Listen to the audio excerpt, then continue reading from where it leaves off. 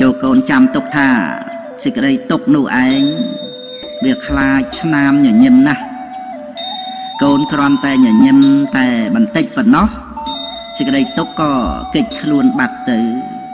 ផងដែរតើកូនដឹងទេថាសេចក្តីទុកនោះវាចូលចិត្តអ្វីគឺសេចក្តីទុកចូលចិត្តមនុស្សណាដែលសម្លឹងមើលលោកនេះក្នុងផ្នែកអាក្រក់ ដូច្នេះកូនត្រូវចេះសម្លឹងមើលលោកនេះក្នុងផ្នែកល្អផ្នែកល្អបំផុតក្នុងលោក គឺការពិតសេចក្តីពិត មានរសឆ្ងាញ់ប្រសើរលើអស់រសទាំងពួងកូនអប់រំបញ្ញាទទួលដឹងការពិត គឺកូននឹងចម្រើនទៅដោយបៃតេបាមកជាក្នុងចិត្ត ដែលការពិតមានគ្រប់ពេលវេលាមិនលំបាកទៅស្វែងរកពីទីណាឬក៏អ្នកដតីណាទេដូច្នេះកូនក៏សម្បូរសេចក្តីសុខ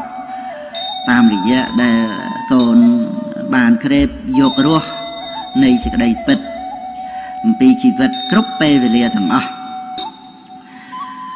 ពេលវេលាមិនធ្លាប់នៅស្ងៀមឡើយណាកូនកូនឪ ក៏ដូចគ្នាដែរកុំបញ្ឈប់ការព្យាយាមឲ្យសោះ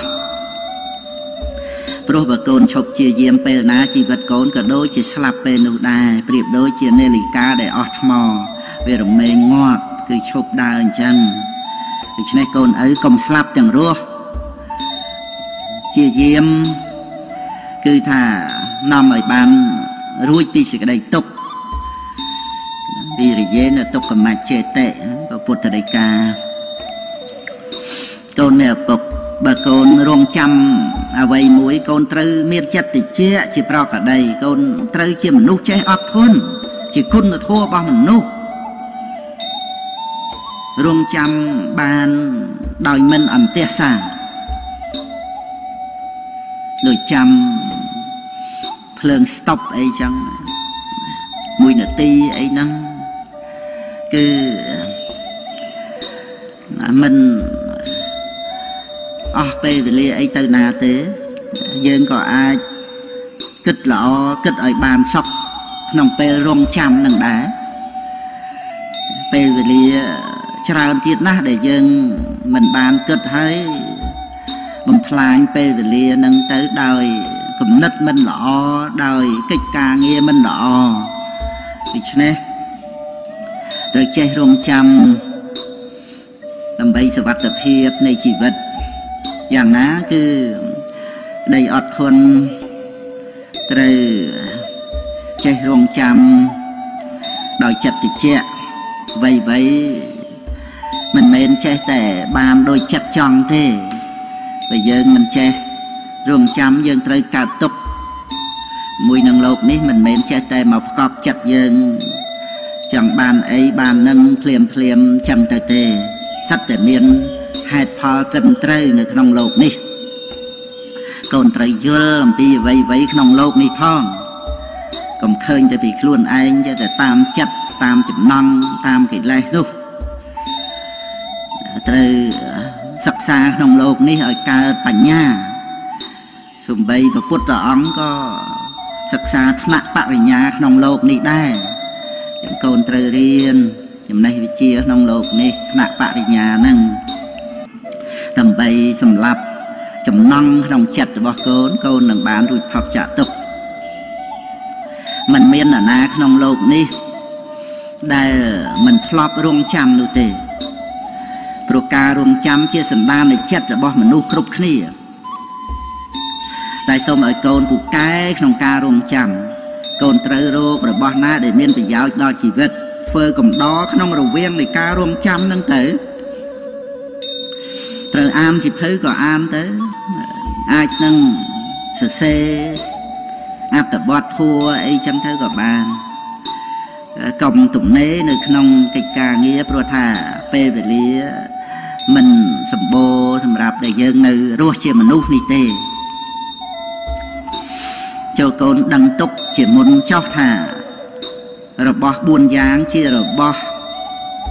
ដែលសូមបានដោយលំបាកជារបស់ដែលមិនងាយសូមបានតាមបំណងទេ1សូមមាសប្រាក់ទ្រព្យសម្បត្តិ2សូមយសនិងបរិវារ3សូមការរស់នៅអស់កាលយូរ4ក្រោយពីស្លាប់សូមឲ្យបានទៅកាន់សុគតិភពប៉ុន្តែទាំង4យ៉ាងនេះកូនឪ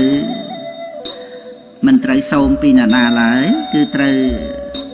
ធ្វើឲ្យបានសម្រេច ដោយខ្លួនឯងដោយសទ្ធា ដោយសិលដោយសត្តៈដោយចាគៈដោយបញ្ញាដែលគុណធម៌ទាំងអស់នេះនាំឲ្យកូនបានសម្រេចទាំងក្នុងលោកនេះទាំងទៅក្នុងបរលោកអ្វីអ្វីក្នុងលោករមែងកើតពីហេតុកូនត្រូវយល់ហេតុផលចូលកូនចាំទុកថា គ្រប់យ៉ាងកើតអំពីការធ្វើរបស់យើងបើកូនធ្វើល្អកូននឹងបានផលល្អបើកូនធ្វើមិនល្អទេ កូនក៏នឹងបានទទួលផលមិនល្អដែរពាក្យថាធ្វើល្អបានល្អធ្វើអាក្រក់បានអាក្រក់នឹងនៅតែត្រឹមត្រូវនឹងពិសោធន៍បានគ្រប់ពេលវេលាទាំងអស់ព្រោះថាសត្វលោករមែងប្រព្រឹត្តទៅតាមកម្មនឹងឯងឪពុកធ្លាប់ចាញ់អ្នកដតីប៉ុន្តែឪពុកមិនធ្លាប់រួញរាថយក្រោយទេកូ នមាសឪពុកក៏ដូចគ្នាដែរទោះបីចាញ់ក៏កុំរួញរាថយក្រោយឡើយហើយកូនឪនឹងបានឈ្នះកាលដែលកូនបានឈ្នះចូលកូនកុំមើងងាយអ្នកចាញ់ឲ្យសោះព្រោះការមើងងាយជាចំណុចខ្សោយរបស់អ្នកឈ្នះព្រះពុទ្ធអង្គទ្រង់ត្រាស់សម្ដែងថាអ្នកឈ្នះតែងប្រទេសនៅពៀអ្នកចាញ់រមែងដេកជាទុកដូច្នេះចូលកូនចាំទុកថា មិនមានការតស៊ូណាឲ្យប្រសើរជាងការតស៊ូយកឈ្នះចិត្តអាក្រក់របស់ខ្លួនឯងឡើយសុខដតីក្រៅពីសេចក្តីសុខស្ងប់មិនមានដែរ